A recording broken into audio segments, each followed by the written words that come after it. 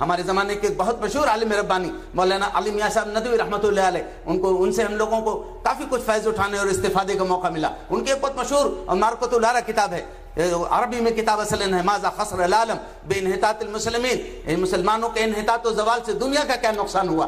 उर्दू जबान में भी मैसर है, इंसानी दुनिया पे मुसलमानों के उरूज जवाल का असर। उन्होंने बहुत एक सटीक तबसरा किया, कहा कि मुसलमानों के जवाल से सिर्फ़ ये बात नहीं हुई कि मुसलमान सियासी तौर पर कमज़ोर हो गए, मुसलमानों के जवाल से ये नहीं हुआ कि मुसलमान इकतसादी तौर पर दूसरों के दस्त निगर हो गए। मुसलमानों के जवाल से दुनिया को यह हादसा पेश आया।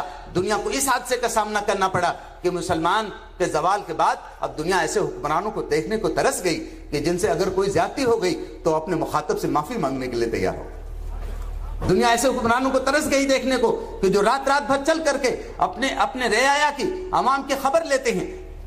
दुनिया ऐसे हुक्मरानों को देखने को तरस गई जिनका बेटा अगर किसी के साथ जाति कर दे तो उन्हें अपने बेटे को कोड़े लगाने में कोई यार नहीं महसूस होता।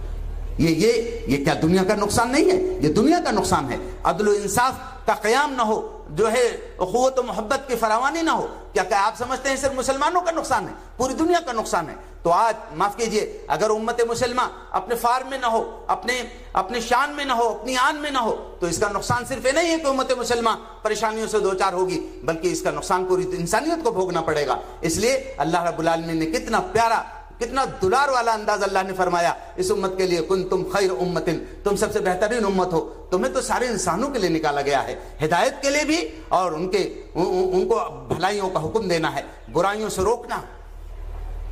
भलाइयों का हुक्म देना है बुराइयों से रोकना है। फरमाया तामरू न बिल मारूफ वो तनहू न अनिल मुनकर ताकि तुम भलाइयों का हुक्म दो और बुराइयों से रोको। यहाँ मैं आपसे क्या आतज करूँ? यहाँ अगर ओलमा मौजूद हूँ इंतहाई अदब के साथ बड़ी बहुत ही अदब के साथ माजरत करूँगा इस बात पर कि हमने उम्मत का जो मकाम था, जो मरतबा था, हमने उम्मत को वही नहीं बताया। हमने उम्मत को यही नहीं समझाया कि तुम्हारा नाम क्या है। मैं तकरीब फहम के लिए आपको एक लतेवा सुना दूँ कि लखनऊ नवाबों का शहर है। तो किसी नवाब के यहाँ एक शोर हुआ है एक दिन दिन में कि जो है घर में सांप निकल आया है, सांप निकल आया है। तो हंगामा हो गया पूरे घर के अंदर। कलीज दौड़ी दौड़ी आई नवाब साहब के मर्दाने में और कहा कि हुजूर, घर में सांप निकल आया है। तो हड़बड़ा गए उन्होंने कहा सांप निकल आया है जरा बुलाना किसी मर्द को। तो वो बेचारी समझ नहीं पाई मर्द ही समझ के आई थी तो सिट पिटा गई कहा हुजूर अगर जान की अमान पाऊँ तो माशाल्लाह आप भी तो मर्द हैं। उन्होंने कहा हाँ, हाँ तुमने खूब याद दिलाया लाना मेरी छड़ी जरा तो मैं आपसे हंस कर रहा हूँ। अगर आज उम्मत मुसलमान आप हंस पड़े यकीन आप हंस सकते थे लेकिन मेरे मेरे नज़दीक रो पड़ने का मौका। अगर आज उम्मत मुसलमान का कोई टीचर, उम्मत मुसलमान का कोई डॉक्टर, उम्मत मुसलमान का कोई प्रोफेसर और कोई रीडर और फार्मर, अगर उस गरीब को यह नहीं मालूम कि उम्मत मुसलमा किसे कहते हैं, उसे ये नहीं मालूम उम्मत वसत किसे कहते हैं, उसे ये नहीं मालूम कि खैर उम्मत किसे कहते हैं, डूब मरने का मौका। माफ़ कीजिए, जिन लोगों को अपने नाम का तारुफ ना मालूम हो, जिन्हें अपना सरापा और अपना हुलिया ना मालूम हो, वो दुनिया में किसी से क्या कह सकते हैं कि हम हम परेशान हैं, हम दो चार हैं, हालात के इसतराब से। मैं इंतहाई अदब के साथ अर्ज़ करूँगा। हमें इस बात को समझने की कोशिश करनी है। हमें अपना नाम भी समझना है। मुस्लिम किसे कहते हैं? इस्लाम किसे कहते हैं? उम्मत वसत क्या है? उम्मत खैर क्या है? जी, और उम्मत मुसलमा क्या है? उम्मत मुसलमा उस उम्मत को कहते हैं, जिसका एक एक पल अल्लाह के हवाले हो।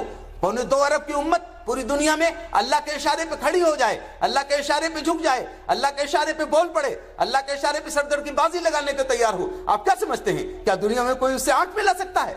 लेकिन माफ़ कीजिए, हम उसूली तौर पे तो उम्मत मुसलमा हैं, लेकिन अमलन इस वक्त हम उम्मत मुसलमा का किरदार शायद अदा नहीं कर पा रहे।